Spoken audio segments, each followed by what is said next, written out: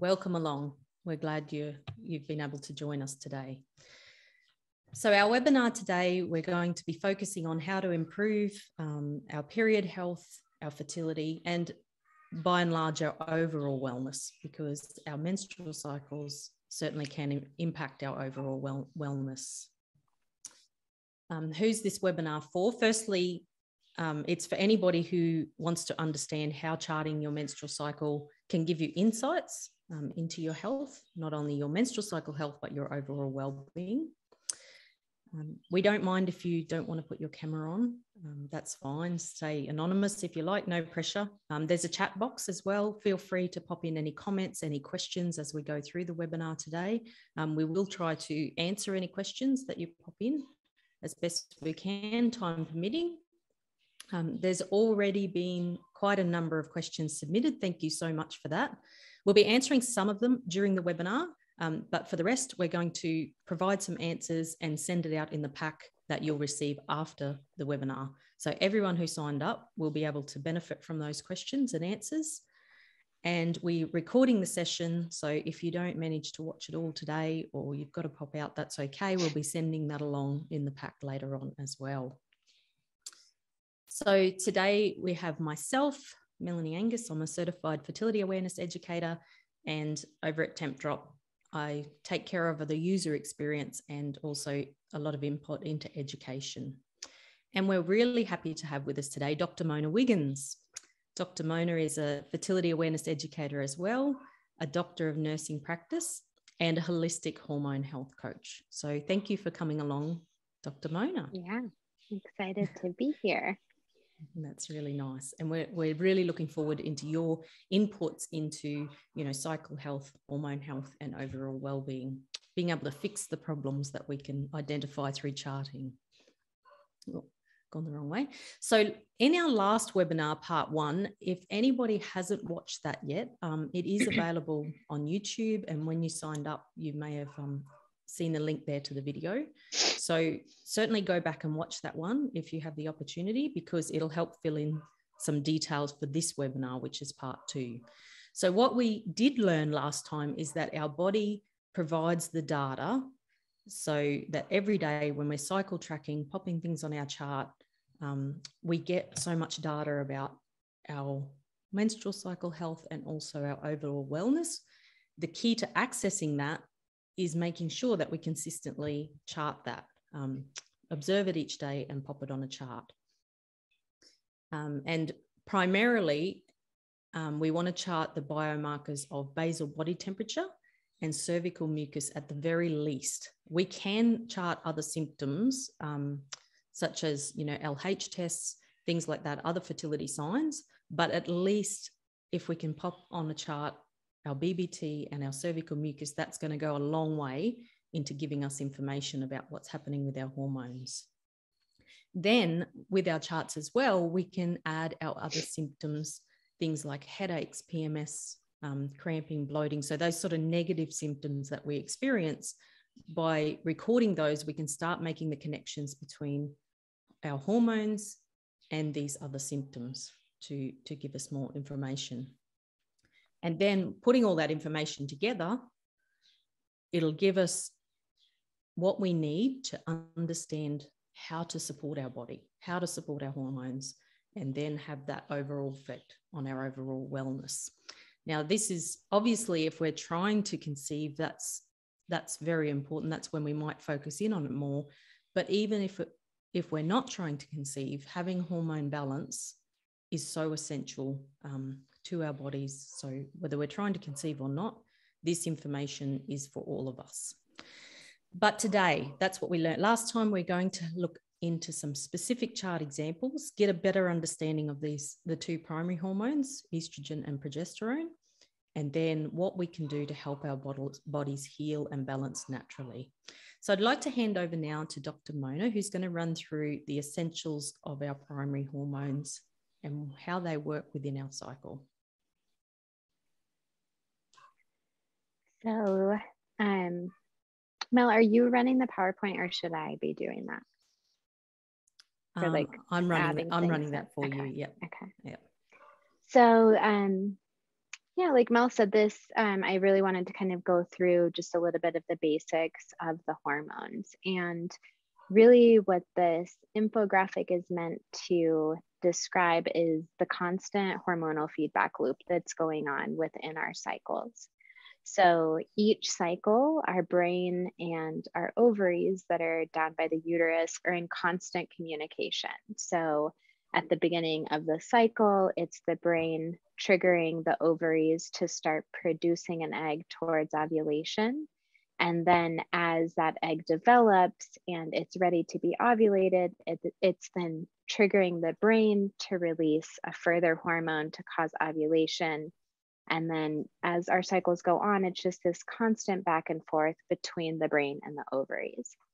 And in order for the necessary hormones to occur in order for our cycles to play out as we'd like them to, that really requires sufficient hormone levels. And so that's why understanding really the underneath of the hormones is key for understanding what's going on within our cycles.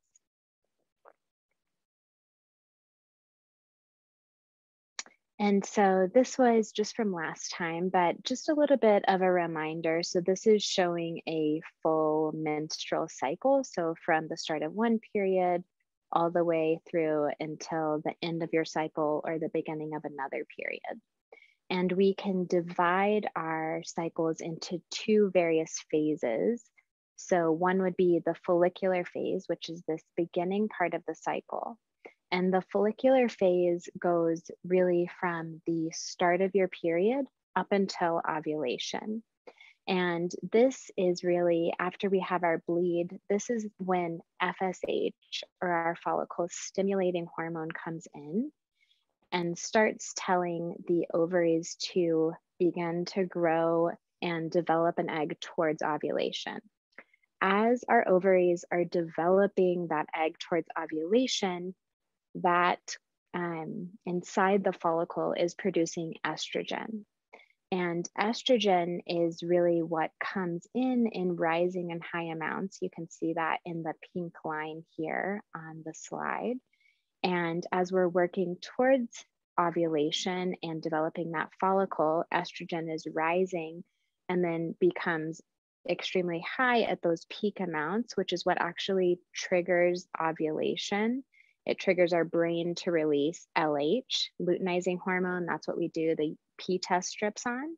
And that surges right before ovulation. But that happens because our estrogen is able to rise to significant high amounts.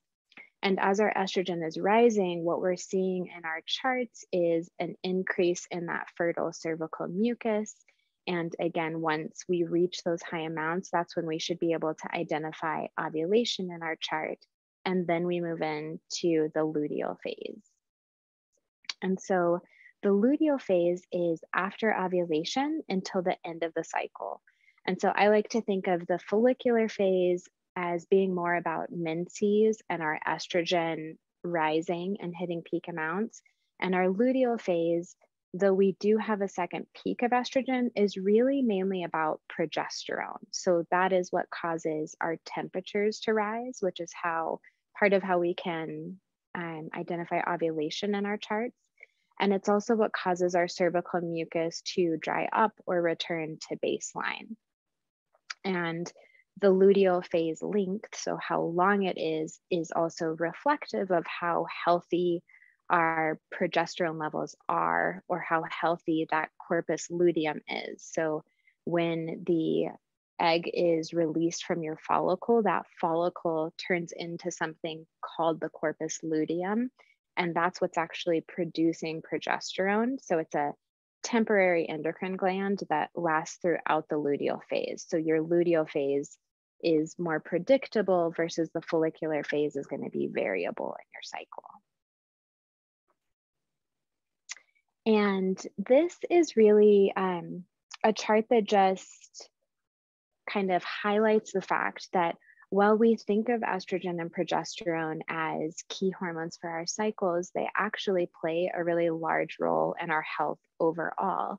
And they really are this yin yang beautiful balance that we need adequate estrogen and adequate progesterone in order to find that harmony and that balance not only within our cycles and our hormones but within various things in our body like our blood vessels the health of our bones our blood sugar and brain health and just our overall well-being and mental health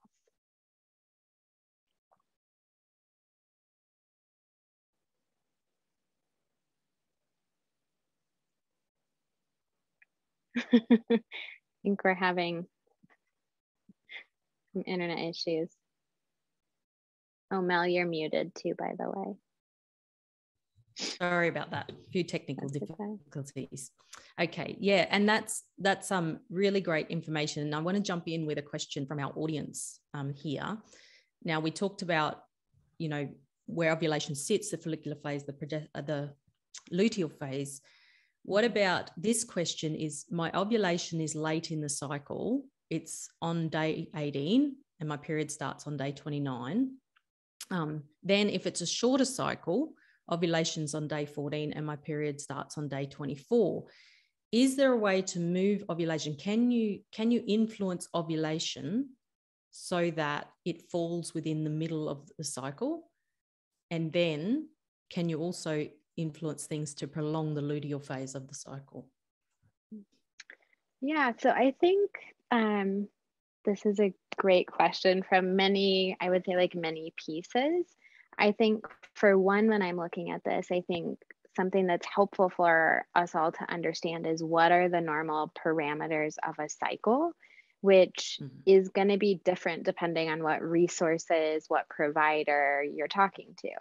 So to me, I like to see cycles that are 24 to 36 days. So in both of these cases, you know, the 24 is falling on the shorter end, but still technically on the normal side.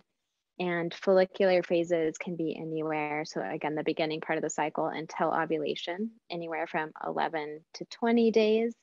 And so, I think, um, you know, the late ovulation in quotes, I think highlights the point of really the myths and misconceptions that happen around when ovulation should occur. Just because ovulation doesn't occur on 14 days, on day 14, doesn't mean anything is necessarily wrong. It's more about the overall patterns of a cycle. In the luteal phase, uh, again, the corpus luteum, that's temporary. So that can last anywhere from nine to 18 days. I really like to see that like 12 to 16 days, I would say, is more ideal. And so, in talking about prolonging the luteal phase, I would say like that is something that, depending on what else is going on, sometimes a 10 day luteal phase can be totally sufficient as long as there's not other symptoms or things going on. So, really, I think remembering like we are all individuals and we're not going to meet perfect cycle standards so also that is part of it is really like looking you know at patterns overall understanding our patterns over time. And really anytime uh, we're talking about cycle health we're always you know even if we're specifically talking about the luteal phase it often is again remembering that balance between estrogen and progesterone. And really i would say to me when it's something that you know, this is a, an example that seems, you know, I don't know if there's symptoms or other things going on, but seems to be pretty um, minimal as far as what I would say concerns might go. And so, really focusing on key pillars of hormonal health, which we'll be going over in the slides to come. But to me, that's always key for first addressing anything that we're trying to improve in our cycles. Are we getting in regular movement? Are we making sure to address stress in a way that's supportive because we know we can't just get rid of it altogether? Are we getting in adequate nutrients that are necessary for our cycles and our hormone health? Is our gut and our liver getting love? Are we supporting the detoxification process and movement of hormones through our body? And are we getting enough sleep because our sleep affects our hormones and our cycles directly. Mm. So I would say like that's those are beautiful places always to start. And I think in this case, it like is would be a great example. Yeah, thank you for that. So I guess the, the important thing is to take a look at whether you have regular big variations, like like you said, both of these cycles fall within normal parameters, yeah. but is there regular large variations in that and regularly short luteal phases is mm. something that you first got to address. Is it just a one-off or is right. this, you know, becoming a pattern? But great totally. little key pillars there that you've mentioned mm-hmm. that can mm-hmm. run through to any case of, um, yep.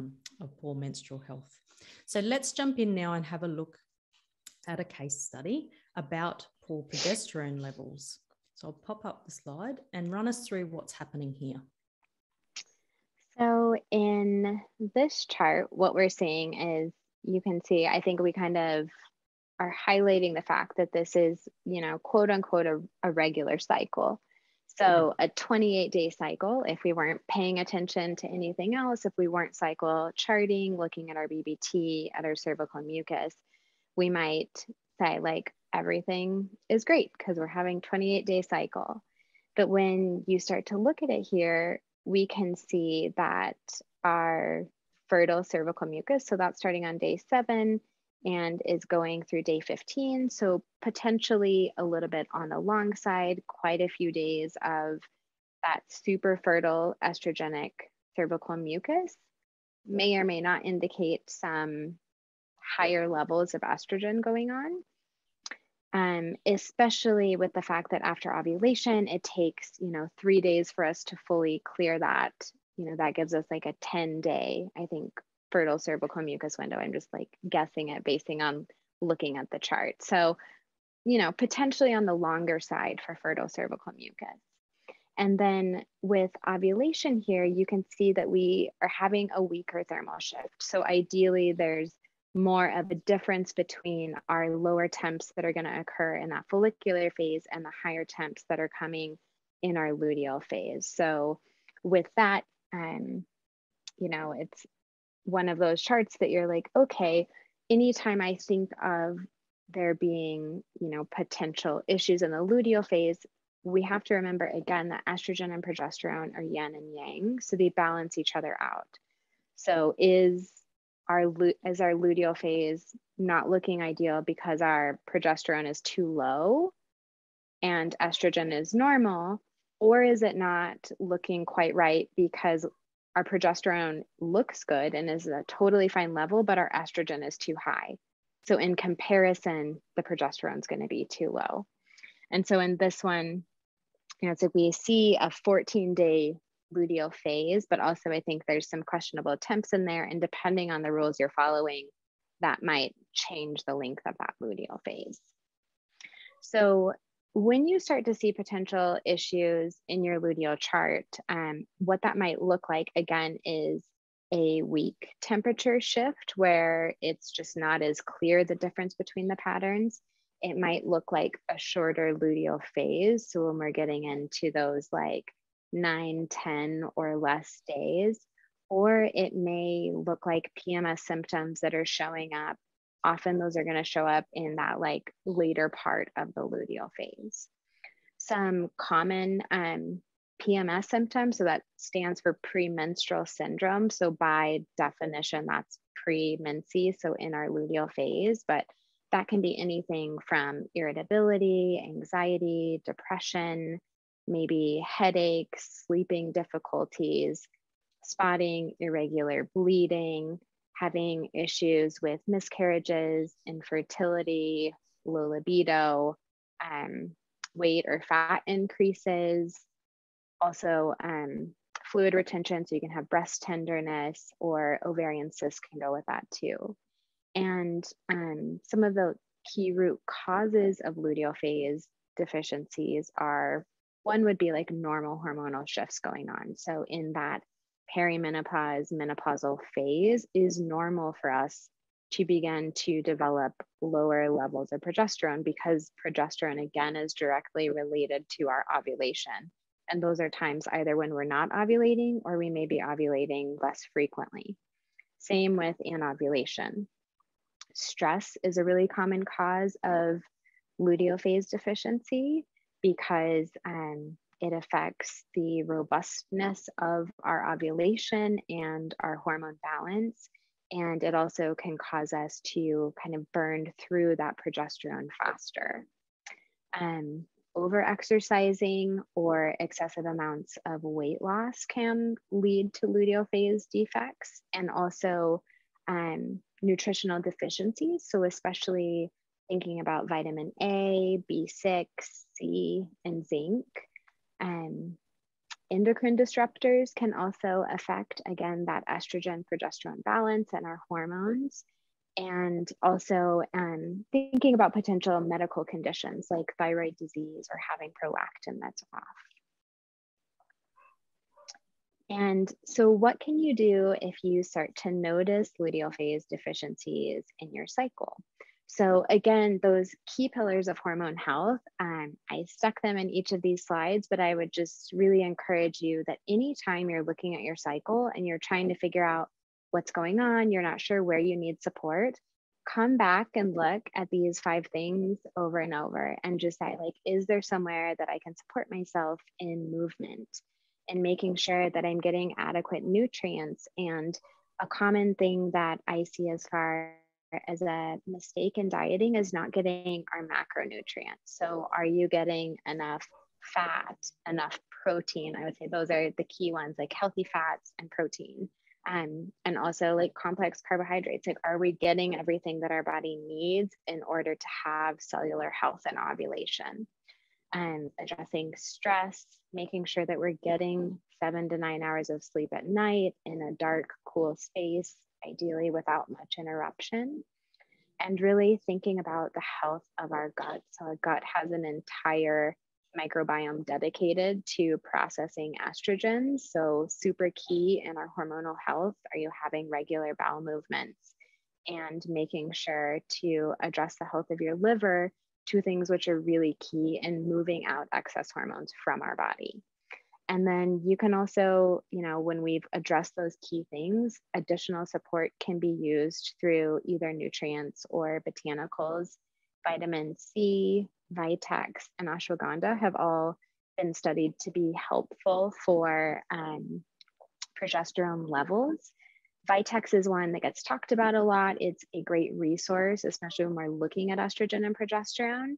Um, I would say like generally avoid in pregnancy and anytime you're using herbs or botanicals, if you're not familiar with them, I always encourage people to talk with a medical provider about it. Vitex, I don't recommend using more than three months unless you're working with a healthcare practitioner. Um, but some really great resources to look into. And then this one is just really showing kind of like an ideal hormonal response. So when we're actually looking to address a luteal phase defect, um, I think in this example, the woman had done some work with liver health, and I forget, um, Mel, maybe Vitex was that also used in this example?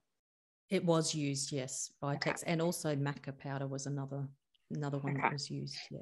Yeah. So maca, great for hormones, also can be helpful for supporting our adrenals. Um, and so here you can see, you know, an improved pattern in our cervical mucus. So is shortened. We have um, better resolution of, or like a better clearing of fertile cervical mucus in the luteal phase once that comes in. And then also we have a much bigger shift in our temperatures. And so um, in this cycle, it's showing 12 days. Again, the other one I think was 14 days, but mm. uh, is a less clear tip shift. So 12 to 14 days, both healthy. Our luteal phase really shouldn't shift by more than like one or two days per cycle. So even that being two days would be an improvement, but improved temp pattern, improved cervical mucus. And um, this woman also reported decrease in bothersome symptoms. So all great responses with really like minimal intervention. Yes. So, what about similar PMS symptoms? So, again, we talked about the fact that PMS is by definition something that comes within our luteal phase, and we already talked about a lot of the common symptoms. So, if you're experiencing those, again, go back to those key pillars of hormonal health, um, diet, things that can be especially helpful with PMS, making sure that we're looking at potentially decreasing or totally removing caffeine, excess sugars. So we're not talking about what comes in, you know, fruit, berries, but really like added sugars in our diet, processed foods, and then unhealthy dietary fats. Um, considering adding in magnesium is a fabulous one for PMS, as well as B6. Um, and then Vitex if you feel like you need that hormonal support. Um, but I would say like magnesium is probably one of the most common deficiencies that I see, especially in women. A lot of studies have shown that we tend to be low in that. So that is one of my absolute go tos for PMS and cycle health. Um, and you know seeking care when we're having more severe symptoms or if they're not improving seeking care considering testing of you know at a minimum our estrogen and progesterone levels or doing more detailed hormone testing like the Dutch test, um, and always considering thyroid testing when we're seeing cycle abnormalities because our thyroid and our ovaries have such a direct connection. And we're often going to see shifts in our cycle charts before we even have overt thyroid disease. Yeah, nice. Another common um, symptom is menstrual headaches or menstrual migraines, ones that coincide um, with our period. So let's yeah. take a uh, take a look at this this type of headache. What can you tell us about it? So when we're thinking about you know a regular headache versus a menstrual migraine, I think it's helpful to remember a menstrual migraine should be just that something that's happening around menses. So this case is a good example. So, usually with menstrual migraines, those are going to occur usually somewhere between two days before or three days after the onset of a period. So, those are kind of like the time ranges that we're thinking about when we're thinking about a menstrual headache. And I think the next slide, yeah, goes into a little bit more about menstrual migraines. So, migraines um, again, like a menstrual one around the time of menses. Migraines in general are something that tend to be intermittent, meaning that they're not going to last a long time. They shouldn't be coming throughout your cycle if it is a true menstrual migraine. Um, migraines typically are going to be felt on one side of the head and might be associated with nausea, vomiting, light or sound sensitivity. And when it comes to menstrual migraines, it's thought to be estrogen associated. So when we have a drop in our estrogen after we've had higher levels, that drop is thought to trigger the migraine. So, for example, when we're in our menses and at the end of the luteal phase, that's when our hormone levels are at an overall low. And another common time that um, some women might experience them is postpartum after we have that drop in estrogen levels. And so, um, things to consider when we're thinking about the cause. So, yes, estrogen is common. Other common causes or things that might be contributing to the headaches can be stress, sleep issues, um, having blood sugar imbalances or fasting, um, either food sensitivities or food triggers. Food triggers are a really common one for migraines. So that can include um, kind of like the common triggers are MSG, uh, processed meats like sandwich meats, um, fish, cheese, um, some dairy products, alcohol, especially like the nitrates that we find in wine, um, aspartame, and other fake sweeteners. And then also having nutritional deficiencies, smoking, and then for some people, environmental things like smells, allergies, things like that. So if you notice it, you just want to keep a headache journal. That can be incredibly helpful in understanding what are your triggers, where are the patterns, and really, again, those key pillars of hormonal health, making sure that you're addressing those. And dehydration and stress are common triggers. So I would especially pay attention to those and the food triggers we discussed. And then another common thing that I see is medication overuse. So when we are getting regular headaches when we begin to use medication regularly for it. Our body starts to feel like it needs that. And then we can actually get rebound headaches or more headaches because we're taking so much medication. So, really trying to titrate off using medication and do more natural approaches like heat or cold packs, massage, yoga, acupuncture, and really saving medication for when it's absolutely necessary. Um, and again, um, nutrients and botanicals, so ones that can be helpful for more chronic headaches, can be magnesium, vitamin B2, um, feverfew, and ginger. Ginger is also helpful for um, nausea or like vomiting that can go with it. Ginger can be helpful for that. And with the feverfew, again, you just would want to avoid in pregnancy, but mainly we're talking about menstrual migraines here, so it doesn't super apply. Um, and always seek care if you're, you know, if it's a new, sudden, severe headache, if there's uncontrollable nausea, vomiting, any concerning symptoms, seek care. Don't try and treat those things at home yourself without making sure that there's not something more important going on. Yeah, very good. Um, we've got another question that that was submitted earlier. What can I do about a heavy period? Um, obviously, this is probably the most profound symptom that we notice if, if things mm-hmm. aren't quite right. So, what about mm-hmm. heavy periods? What what can I do? Well, I think first of all is um, really making sure that we're being clear on what heavy is. So making sure that we're charting how much bleeding that we're having. And if you have questions on that, talk to a medical provider, look at various resources. I would say um, resources are kind of all over the place of what's heavy or what's normal. I would say like 30 to 80 milliliters, which different period products have that on there. Period cups measure that. Um, so I think one being educated on what is heavy and what is normal. Um, but when you are having true heavy periods, uh, common causes I would say, are things that I see a lot are when estrogen levels need to be addressed. So when we're having either conditions or exposures that are causing us to have higher estrogen levels related to progesterone. So again, estrogen is not only what builds our cervical mucus, but it also is what builds our uterine lining.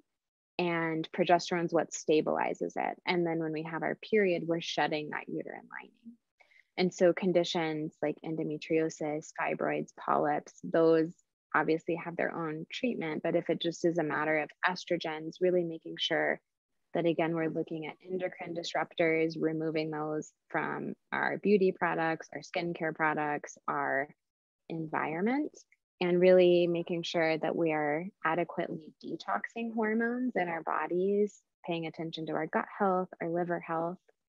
And then the other um, reason that I commonly see heavy periods is related to not ovulating regularly, which again makes sense if we're having more regular estrogen exposure as we work towards ovulation, we're going to have a heavier building up of the uterine lining. Um, and so, really, that kind of depends on why are we not having regular ovulation. If it's PCOS, you know, looking at supplements to specifically address that. If it's stress, looking at things that support that, like, you know, making sure that we're doing yoga, meditation, mindfulness, considering vitamin C, maybe maitake or different things for our stress support system. Um, and inadequate nutrients can also cause this, um, or low body weight. Sometimes I see it. So, really making sure that we're maintaining a healthy body weight, that we're optimizing our diet, getting ideally six to eight servings of fruits and vegetables in a day. Sometimes it can be helpful to avoid dairy.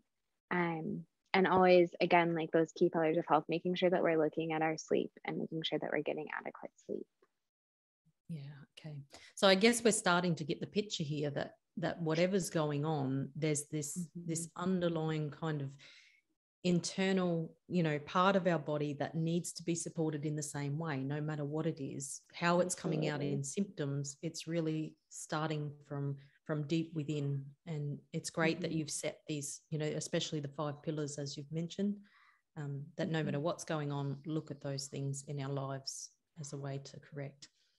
We've got another mm-hmm. case study irregular cycles. You mentioned irregular cycles, um, mm-hmm. not ovulating regularly. So let's have a look at a chart or what we would typically see in a chart if this is our experience. Is all are all irregular cycles an indication of PCOS?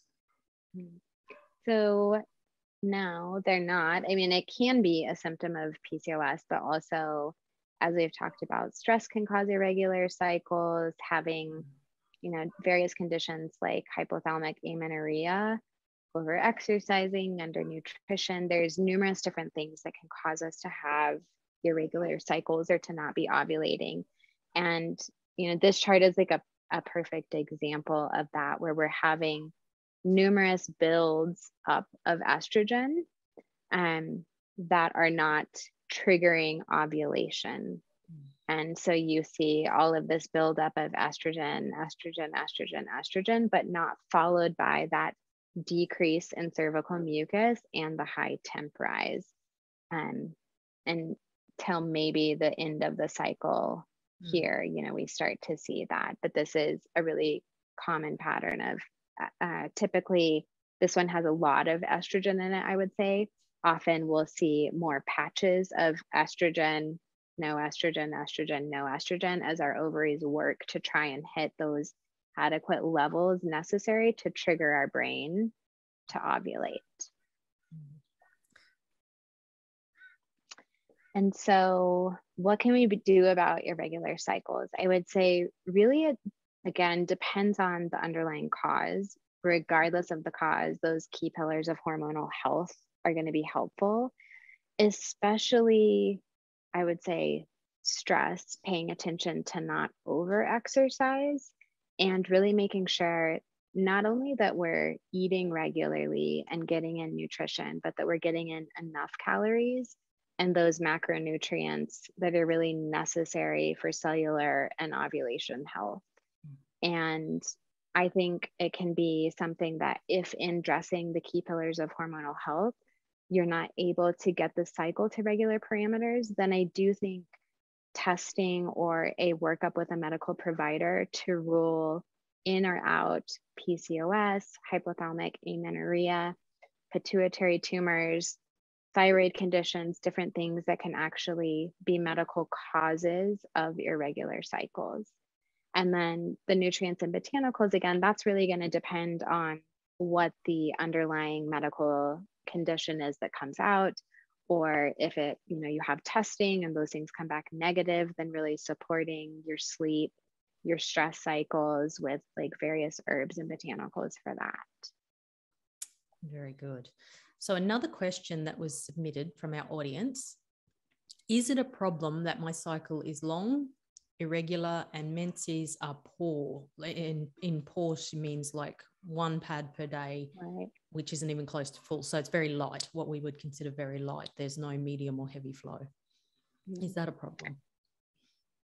You know, I would say, again, like it's when we're talking about our cycles, why we want to see those regular patterns, like regular cycles, regular ovulation having adequate, like seeing adequate hormone levels through an adequate bleed, an adequate buildup of cervical mucus, an adequate luteal phase, again, is because regardless of what our goal is in the moment, our cycles are reflective of our hormonal health.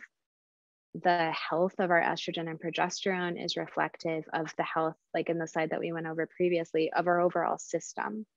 And so to me, it is concerning if this is something that's an ongoing pattern and is something that I would want to support, especially in talking about the long irregular cycle.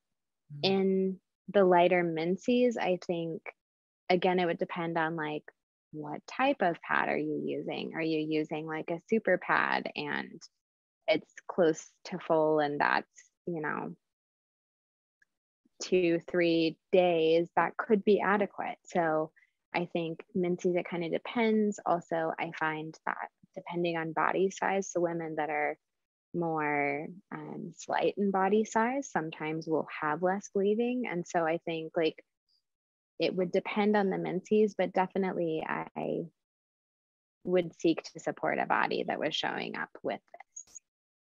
Yeah, absolutely. Another one is how can I plan for ovulation when I have irregular periods, most likely due to stress. So I guess, you know, irregular periods means irregular ovulation. So how could somebody plan for that? Um, how, how how do we kind of know ahead of time can we know ahead of time when ovulation might come yeah i with ovulation we can't right that's the the trick right but i um like a key way to see signs is to cycle chart that's one of the reasons we cycle chart and so when that's why when we see fertile cervical mucus we know that that may progress to ovulation i think um really working those key pillars of hormonal health and stress specifically in this case. So, considering things to really support stress if you suspect that's the cause of an irregular cycle is going to help. But in planning for ovulation, really like cycle charting, watching for that fertile cervical mucus, you could consider doing LH testing, which can, um, it's not perfect. We can get false negatives, false positives, but can help us to know when we are likely to have ovulation impending and really make sure that you're clear on method rules so that if you are somebody that's having irregular cycles you know when you're fertile and when you're not as you're building up towards ovulation. I think those like rules making sure that you really understand that through you know whether that's self-teaching a book working with an instructor i think really understanding the rules so that you know when it might be coming and when you're fertile and when you're not if you're trying to avoid is super key too. Yeah cool. But the message is always clear as we've already learned. It's it's better that we work on getting that regular than Absolutely. try to live with irregular um, and, mm-hmm. and guessing mm-hmm. what's the best way to improve overall health after birth control pills so if you've been on hormonal birth control you come off that what's the best mm-hmm. way to support this transition and improve our health? Um, I love this question. It's one of the ones that I work with people the most on. And I think, like, for me, there's always a couple things that I'm thinking about. One is like, what, why did we go on birth control in the first place? Because we want to be supporting that. So, for example, if you went on it because you had PCOS and you were told to take it because you have irregular cycles, or if you had acne or PMS or painful periods, most of the time, unless we were doing something to improve the root causes and improve why we were having those symptoms, when we come off, those symptoms are going to be there. So, mm-hmm. I think really thinking of the root cause that you went on it for and making sure that you're supporting that in some way. And also understanding what happens to our bodies when we're on the pill. So, when we're on the pill, um, studies have shown us that it depletes our bodies from various nutrients. So, different B vitamins, vitamin C, E, magnesium, selenium, zinc, folate. Um, and also, as we come off it, our bodies can um, become lower in vitamin D. So, I find this is a really key time to focus on making sure that you're eating nutrient dense foods. So, all of those leafy greens, those like phyto nutrient rich fruits and veggies that are like really vibrant colors is always how I think of them. Berries, um, making sure that if you are going to have meat or dairy, that it's organic. So we're avoiding hormones. Um, and really, you know, like those like nutrient dense foods like nuts and seeds. Um, I personally recommend that clients at least consider taking a really high quality multivitamin that includes vitamin D at least for the first three to six months and coming off the pill so that we can replete those nutrients. And really focusing you know on blood sugar balance is key making sure that you know we're looking at those key pillars of health that always matter.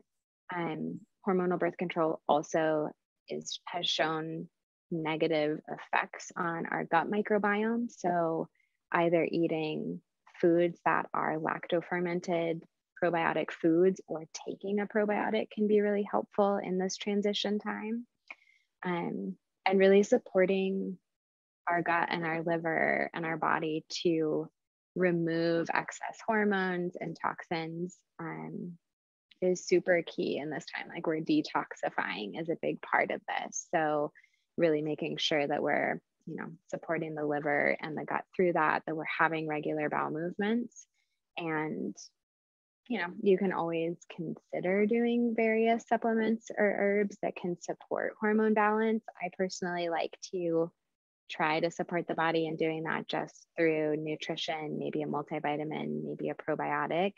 Um, but if you needed to, if you're not starting to see negative cycle effects or different things happening, then again, treating that underlying cause depending on what's going on. Okay, so a bit more intense help and care for, sure. for the body during that time. For sure. So, just to kind of sum up, um, going back to those key pillars of hormone health, run us through them again, just so that we can cement in what we all can do to support our yeah. menstrual cycle health. Yeah, so I'd say these are the things that I would write down somewhere and come back to. So, gut and liver health. Again, our gut, we have the estrobolome, and part of our microbiome, super key in how much estrogen we are keeping within our body. So we want to keep that gut healthy, making sure that we're either taking a probiotic or eating probiotic foods regularly, having regular bowel movements, seeking help if you're noticing a lot of gut symptoms or a lot of hormone symptoms. Same with the liver, like supporting our liver, making sure that we are really keeping that healthy. There's, you know, different herbs that can support liver health as well, but really key for that like hormone detoxification process, both of those. With nutrition, really making sure that one, you're getting adequate calories, and two, that you're looking at your macronutrients. So, are you getting protein? Are you getting in healthy fats? Are you getting in those complex carbs? And, seven, you know, like six, seven to eight servings of fruits and vegetables a day. A lot. Sleep seven to nine hours every night, dark, cool, quiet, making sure that we're getting in some type of ideally daily movement, but avoiding that over exercise as this can have negative cycle effects. And then really paying attention to supporting our stress levels and really completing those stress cycles. So when stress does come up, finding ways to really fully move that through our bodies. Okay, great tips. And then finally, now with interventions, when what should we do? You know, if if things aren't ideal. Yeah. So I would say, like, when we start experiencing either symptoms that just aren't improving despite us trying to do things on our own, more severe symptoms, um, or if you just want to understand your hormones and your cycles more, like, one, keep charting, chart a lot of details. That's always something that's going to be helpful if you're you know, whether you're doing chart reviews with a fertility awareness educator or you're working with a medical provider that's aware of cycle charts, the more detail you have, the better. Um, again, seek medical care to rule out those serious conditions. Consider doing testing. So, whether that is blood work, if there's imaging that your provider might recommend, I really love the Dutch test that gives you um, sex and adrenal hormones both. And then GI map is one that looks at gut microbiome testing.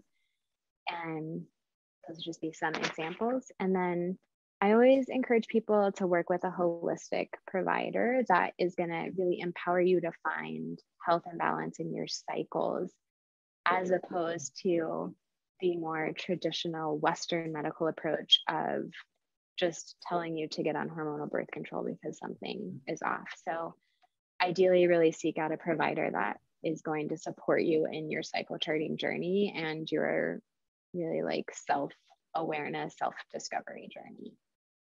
Yeah, great. Thank you so much. So, thank you so much for joining us, um, mm-hmm. Dr. Mona, today. Um, obviously, if anybody watching has more questions, it might prompt more questions. You can you can certainly reach out to us at Tempdrop, um, our website tempdrop.com. We have an excellent selection of blog posts in there that you can continue to search. You can contact us by email. We're also on Instagram, Facebook. Um, we've got a couple of, we have an Exploring Tempdrop group on Facebook so that if you're thinking about buying Tempdrop, you can come in there and, and ask questions. Um, yeah, so we can find us there. What about you, Dr. Mona? If you if somebody wants to connect with you, how can they find you? Yeah, so I included my website and Instagram and Facebook, and um, yeah, like any of those are great resources. I do fertility awareness education mentorships, and I also do cycle chart reviews as well as the Dutch and GI map testing. So, any questions, you can reach me on any of these or my email I didn't put in there, but it's uh, medicine with Mona at gmail.com. Okay, thank you so much.